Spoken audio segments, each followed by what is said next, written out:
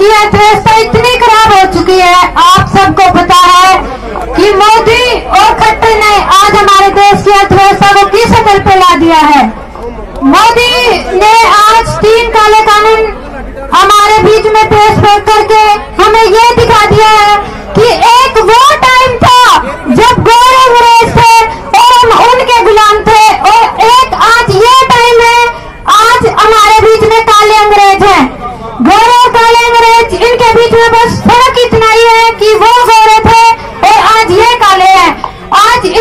हमारी धरती माँ, जो हमें अन्न देती है, हमारा पेट भरती है, जिससे हमारा गुजारा होता है, उसको हमारे से छीनने की कोशिश की है, और आज हमारी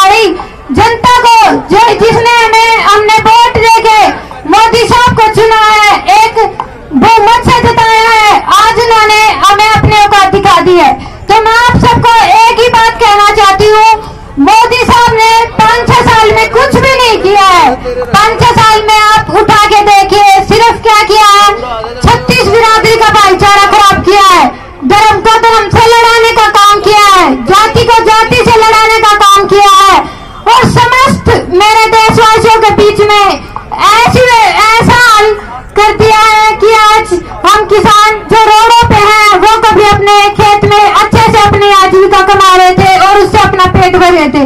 तो मोदी साहब को मैं यही बताना चाहती हूँ, और आज जो हमें सात दिन का नोटिस दिया है कि क्या दिया है ऑपरेशन क्लीन इतनी छोटी बात नहीं है। मेरे देश की जनता इतनी कमज़ोर नहीं है, जो आपने एक बार बोल दिया कि ऑपरेशन क्लीन और धरने उठाओ। जहाँ आप में जाते हो वहाँ पर क्या कोरोना नहीं है कोरोना के कारण आज आप हमें कह रहे हो धरने उठाओ धरने उठाओ चार महीने से हम लगातार धरना के ऊपर बैठे हैं तब तक तो कोई कोरोना नहीं था आज एकदम से कोरोना का पे आ गया और एक बात कोरोना के कारण जब भी हम सुबह जाते हैं हॉस्पिटल में चेक करवाने के लिए और शाम को बोल दिया जाता है कोरोना पॉजिटिव है और रात तक उस व्यक्ति की डेथ हो जाती है कैसा कोरोना है आज तक हमारे देश में बहुत सी बीमारियाँ थी लेकिन आज कोई बीमारी आगे नहीं आ रही एक ही बात चलती है। कहीं से पूछ लो, कोरोना है डेथ होगी। क्यों भाई? रोडों पे नहीं मर रहे, सड़कों पे नहीं मर रहे, जब तक हम अपना घर आए तब तक क्यों नहीं मर रहे?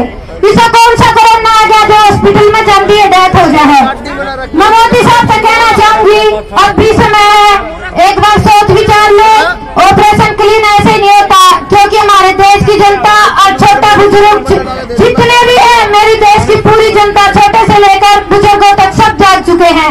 और हम अपने वापिस लेकर ही घर जाएँगे तब तक हम धरनों से नहीं उठेंगे। क्योंकि ये लड़ाई हमारी किसानी कौम की है। अगर आज उठ गए अपने धरनों से तो कभी भी हम जीत नहीं पाएँगे। ये हमें ऐसा गुलाम करके छोड़ देंगे जिसकी हमने कभी सोची भी नहीं होगी। वही हमारे गोरे बड़ा टाइम आ जाएगा। तो मैं मेरी मातृशक्ति जितने भी मेरे बुज़ुर्ग हैं करूँगी कि जितने भी राजनीतिक पार्टियाँ हैं। मेरी यही राय है कि हमें उन सबका बहिष्कार कर देना चाहिए। और हमारी जनता के बीच में जो हमारे अच्छे काम करते हैं उनमें से कोई एक नेता चुन के जो हमारे समाज के हित के लिए हो उसको चुन के राजगद्दी सौंपी जाए। क्योंकि इन्होंने हमेशा लोकतंत्र की हत्या की है संविधान की हत्या की है। मोदी सरकार ने और इसके अलावा कुछ नहीं किया। बोलता है विकास हो गया कहा वो विकास? एक बार आके तो दिखाए आज तक कितनी मीटिंग हुई अपने इन गैंगों को भेज देता है। जाओ मीटिंग कर लो किसानों के साथ। एक बार भी ये तक नहीं पूछा आके कि लाओ भाई किसान भाइयों, मैं सुनूँगा तारी क्या प्रॉब्लम है। चलो कानून पास करने हैं, लेकिन उस कानून में ये तो देखे कि कानून बनाए क्या है। उनमें अगर मेरे किसान भाइयों को दिक्कत हो रही है तो उनका सुलझेड़ा करें। क्योंकि हम नहीं चाहते कि मेरे देश की जनता को मरवाए या कुछ भी करवाए या उन्हें कमज़ोर समझे। सिर्फ़ एक ही अरदास करती हूँ मैं